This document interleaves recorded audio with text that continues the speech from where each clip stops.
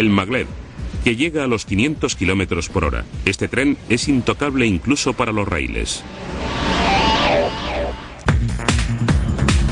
Diseñado para alcanzar gran velocidad, el tren de levitación magnética tiene la típica forma aerodinámica de cualquier tren de alta velocidad.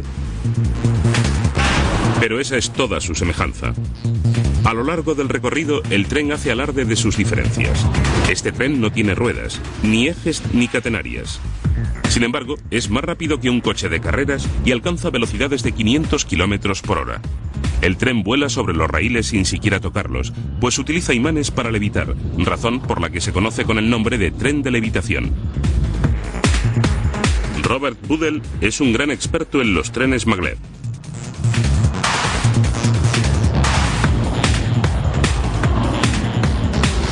Los maglev son trenes muy simples.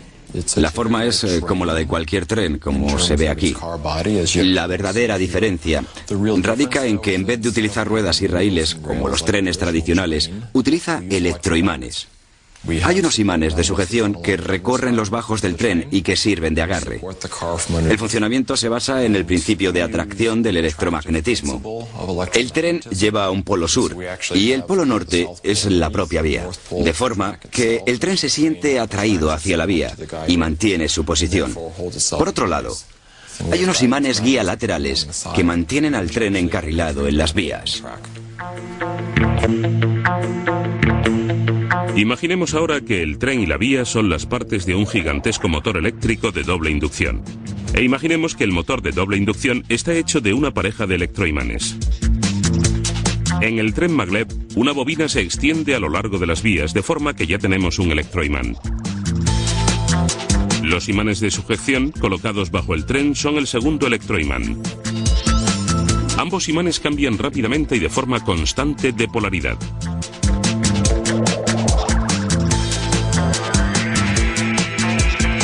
Cuando una sección de la vía tiene polaridad norte, el imán del tren cambia a polaridad sur. Como los polos opuestos se atraen, el tren es impulsado hacia adelante por una onda magnética.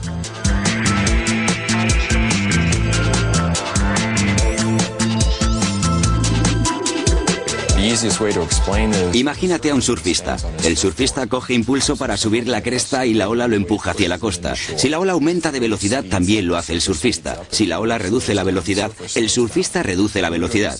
Nosotros hacemos lo mismo, pero con el electromagnetismo. Aceleramos la onda para que el tren acelere y la frenamos para que el tren pueda llegar a pararse.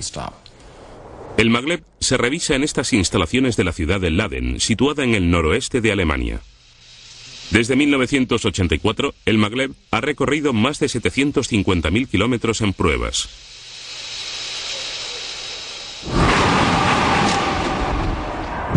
Los trayectos en el maglev son tranquilos y dan confianza.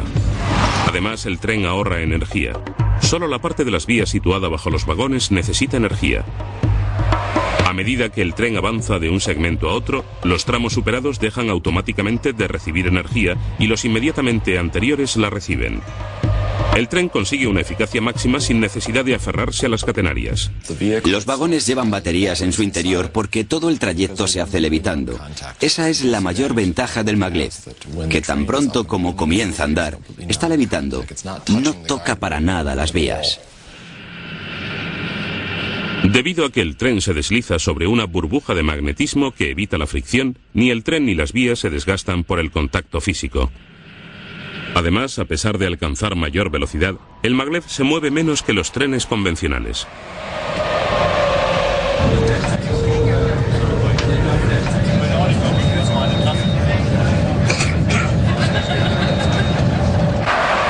Su diseño también contribuye a hacerlo más seguro.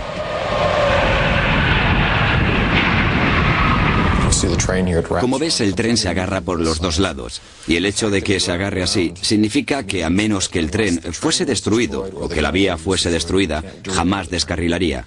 Así que ocurra lo que ocurra, el tren siempre se quedará encarrilado sobre la vía. Shanghái, en China, fue la primera ciudad del mundo que utilizó el maglev, que entró en servicio en 2003. El tren fue presentado con gran pompa ante el primer ministro chino Xu Rongyi y su homólogo alemán, el canciller Gerhard Schröder, que contemplaron su viaje inaugural.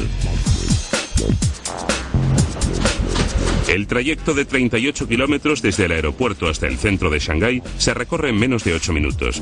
Un taxi lo recorre en una hora o más.